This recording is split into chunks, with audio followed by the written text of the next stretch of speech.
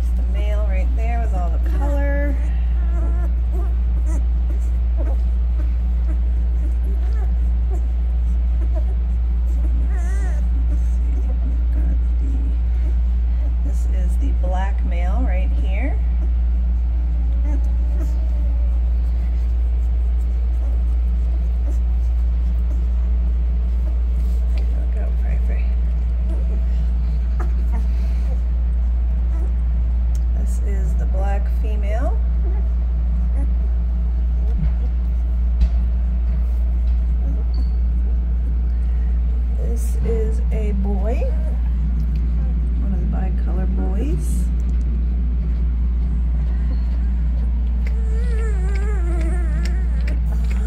this is another bicolor boy.